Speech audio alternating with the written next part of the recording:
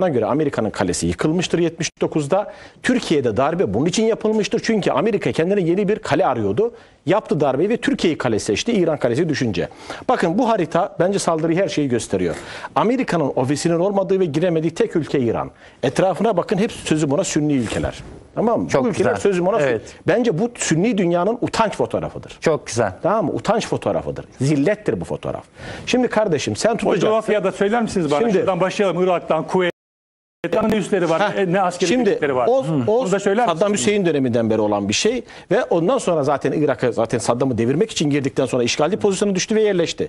Şimdi Türkiye'den tutun tamam mı? Kuveyt, Birleşik Arap Emirlikleri, Arabistan, Afganistan, Irak, Kuveyt, Bahreyn, Katar yani düşünebiliyor musunuz bu fotoğraf? Şimdi İran'a girememişsiniz kardeşim. İran sizin 50 askerinizi e, şu kadar askerinizi rehin almış, 18 ay rehin tutmuş çevirmiş. İsrail elçiliğini kapatmış, Filistin elçiliği yapmış. He? Bugün İsrail'i tanımayan tek ülkelerden biri, ender ülkelerden birisi. Ve Hizbullah dediğiniz örgüt öyle veya böyle İsrail'i dize getiren tek örgüt. Tamam mı? Şimdi ben bununla gurur duyarım bir Müslüman olarak. Şimdi beni ilgilendirmez. Şey Çok güzel, soracağım. Muharrem. Tebrik ediyorum sizi olarak. gerçekten. Şey Tebrik ediyorum İran sizi. bugüne kadar Evet. Sünni coğrafyanın dışında kime ne zarar verdi? Ben de onu söylüyorum. savaş verdi? Bana Ben tam onu söylüyorum. Örnek verin. Ben de onu söylüyorum. Ama Sünnileri öldürdü. Ben, size sayayım. Ben, bir dakika. Tam, sayayım. tam bu soruyu 2 cevap veriyorum. Irak'ta, 500 ben, ben de şunu Suriye'de, söylüyorum. 2000 Ben de şu soruyu, o soruyu cevap veriyorum. Afganistan'da. Hepsi- Öldürdü. Ben de o soruyu cevap veriyorum. Birincisi bu rakamlara dediğiniz emperyalist ve Amerika öldürdü. Ve Türkiye'nin, bakın Türkiye'nin, hatta daha da söyleyeyim, Türkiye'nin ihanetiyle Özal dönemi, İncirlik'ten kalkan uçaklar Ebu Hanife'nin kabrini bombaladı.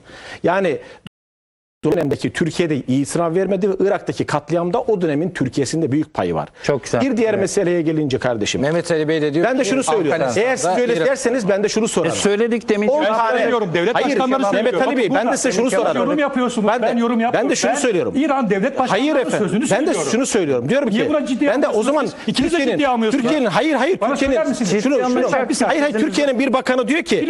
Irak'a bomba düşünce diyor 8,5 milyar dolar kasamıza girecek. Değerli Nereye koyacaksın bunu? Onun da onlardan farkı yok onu demişler. tamam işte, ben de aynı şeyi. Ben Dolayısıyla size herkes yanlış laf edebilir. İran'ın dev, bunlar devlet başkanı. Ama- ama bunu- senelerce yöneten insanlar. E bu- İki devlet başkanı diyor ki biz Irak'ın işgalinde ve Afganistan işgalinde Amerika'ya yardım ettik diyor. Bunun Türkçesinden Ben de eksik? şunu nasıl söylüyorum. anlaşılmıyor? Ben de Niye bunu ciddiye almıyorsunuz? Ama ciddi almaz olur muyum efendim? Alıyorum. Tamam bir, dakika, bir şey söyleyeyim. Bakın Fotoğraf ortada, hayır, yoruma ihtiyaç ya- yok. Hayır diyorlar ya İran niye kardeşim ben de diyorum ki Emperyalist kim anlayın bu zaman. Askerini esir almış ve Hizb İsrail'e dize getirmiş bir örgütten bahsediyoruz. Eğer böyle konuşacak olursak senin 10 vatandaşını uluslararası sularda katletmiş bir devlet var. Sen ne yaptın? Adam da bunu sorar sana. Sen Türkiye olarak ne yaptın İsrail'e? Başına Şimdi- çuval geçirildiği Ha, zaman ne şimdi yaptın? Bakın eğer böyle konuşacak olursak Evet. sünni iş öyle değil. Kardeşim bugün en başta az önce söylüyorum 79 devrimiyle İran kale olmaktan çıkmıştır. Amerika'nın kalesi olmaktan. Ondan sonra Amerika kendine yeni bir kale arıyordu. Darbe yaptı. Hemen 80'de arkasından o geldi. Ve 80'deki darbeyle Türkiye'yi kale yaptı. Bizim çocuklar başardı diyor çünkü Amerikalılar biliyorsun. Evet. Ve Türkiye'de Amerika'nın kuklasına, yörüngesine girmiştir maalesef. İzleyen süreçte Fethullah Gülen gibi ekiple birlikte Türkiye'de Yeşil Kuşak'ı desteklemiştir.